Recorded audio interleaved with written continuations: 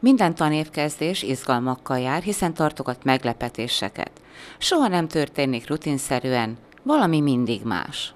Leginkább az érkező új gyerekek, és az idei év se volt másképpen. Egész nyáron készültünk, ugye az iskola szépítése, a beszerzések, a felújítási, karbantartási munkák, a tanév előkészítő munkálatai azok alapvetően nyáron, nyár végén zajlanak. A Három éve kezdtünk el egy új kerettantervnek megfelelően egy emelt szintű tagozatos képzés fele irányulni. Most iskoláztunk be harmadik évben ilyen típusú osztályba diákokat, 159 új elsősünk van, 700 fős az iskola összlétszáma, és hát úgy látjuk, hogy ez a tagozatos képzés, az emelt matematika, emelt biológia, kémia, emelt német, az emelt humán tagozat, ez nagyobb lehetőséget biztosít a gyerekeknek arra, hogy célirányosan már 9-től továbbtanulásra készülhessenek. 23 osztály van ebben a tanévben a gimnáziumban. A hat kimenő osztály helyett öt új 9-es osztályt iskoláztak be.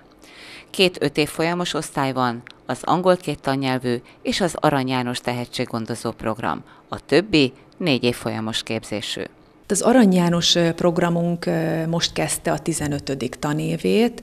Az idei évben a 15. tanév jubileumaként mi is koránk rendezi az országban lévő Arany János iskolák közösségének az évnyitó értekezletét, konferenciáját, ez október másodikán, harmadikán lesz, és ez összhangban van egy kicsit a 250 éves jubileumi sorozattal is. Ez ugyan attól függetlenül, kicsit elkülönülve, de hát két évforduló mégiscsak valamiféle kapcsolatot biztosít, és hát a 250 éves évfordulóra is természetesen nagy lendülettel készülünk.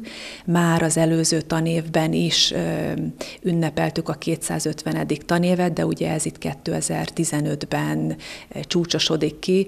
2015. november 13-án lesz pontosan 250 éve, hogy megkezdődött itt ezen a helyen a piaristák vezetésével az oktatás. A gimnázium 250 éves fennállását is ünnepli. Ennek kapcsán ötvös fesztet rendeznek a város diáksága számára november 6-án.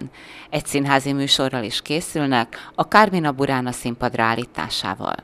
És egy bál zárná az ünnepi rendezvényt.